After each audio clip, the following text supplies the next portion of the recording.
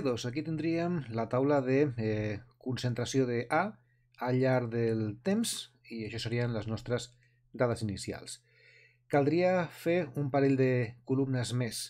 En una posaríem el logaritme neperià de la concentració de A, posem aquí, i a l'altra posaríem 1 eh, dividit entre la concentració de.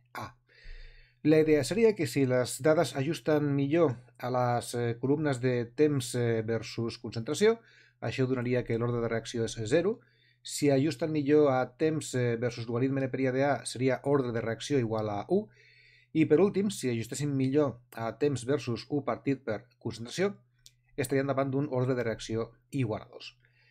Anem, per tant, a preparar les altres dues columnes. Aquí posaríem doncs, eh, que el, el contingut d'aquesta cel·la hauria de ser igual a el eh, logaritme neperià, obrim parèntesi, i fem clic a la cel·la on hi ha la primera concentració. Tanquem parèntesi, enter. Si us fixeu, ara ens dona l'opció de fer emplenament eh, automàtic. Diem que sí, perquè això ens estalviarà una mica de feina. Ja tenim la nova columna de logaritme neperià preparada. I ara anem per la de la inversa, el contingut d'aquesta cel·la serà igual a 1 partit per, un altre cop, la concentració de A. Enter, i un altre cop li donem a acceptar l'emplenament automàtic de la columna. Com que tenim ja les eh, diferents columnes preparades, eh, ara toca fer les gràfiques. Agafem les dues primeres eh, columnes, temps i concentració, anem a insereix, gràfic, i d'entre els gràfics que hi ha hem d'anar a buscar el de dispersió. Cliquem dispersió, tenim, i més o menys eh, dona una línia descendent, o un gràfic descendent, i ara hem d'anar a personalitzar. A la part de eh, sèrie, anem una mica cap a baix, i li demanem una línia de tendència. Aquesta línia tendència volem que ens doni la R al quadrat perquè és el que ens dirà si la cosa ajusta bé o no. I a la etiqueta li hem de dir que posi utilitza equació. Molt bé, doncs eh, s'acaba d'aparèixer la equació i també la R al quadrat. La R al quadrat és igual a 1, per tant sembla que aquesta sigui l'opció millor. De tota manera anem a acabar-ho de comprovar.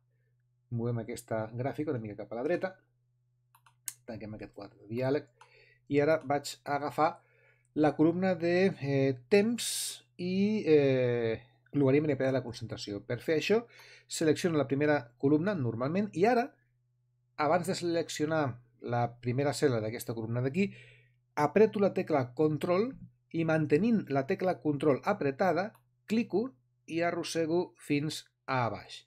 D'aquesta manera, ara deixo anar Control i deixo anar també el clic del ratolí, D'aquesta manera tinc seleccionades les columnes de temps i logaritme neperià. A partir d'aquí, igual que abans, insereix un gràfic, tipus gràfic dispersió, ara ja m'ho he agafat eh, força bé. Eh, anem a personalitzar, sèrie, línia de tendència, mostra R quadrat, personalitza, utilitza equació.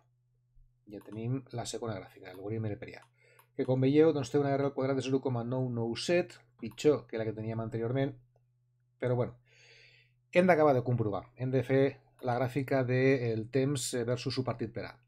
Anem cap allà. Seleccionem la columna de el temps de 0 fins a 10. Ara apretem la tecla control i mantenint-la apretada, clic i arrosseguem fins a baix. Deixem anar el control i el clic i un altre cop insereix gràfic gràfic de dispersió, personalitza, sèrie, línia de tendència, R quadrat i utilitza equació. Ja tenim la tercera amb una R al quadrat de 0,988. Així que ja podem dir finalment que de les tres gràfiques la que millor encaixa és la primera de totes, és la que té la R al quadrat més similar a 1.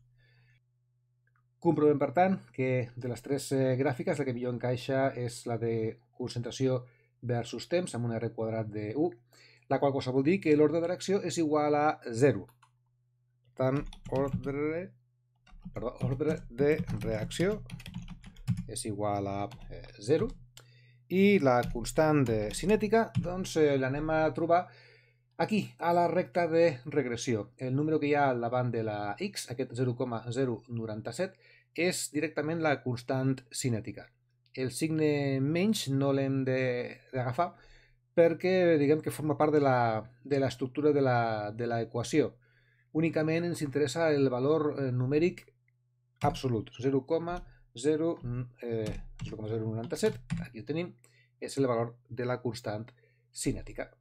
Això tindríem el problema totalment resolt. Ordre reacció 0, constant cinètica 0,097, i això sabem perquè hem fet les tres eh, gràfiques de regressió, i la que millor ajustat és concentració versus temps, que correspon a ordre 0.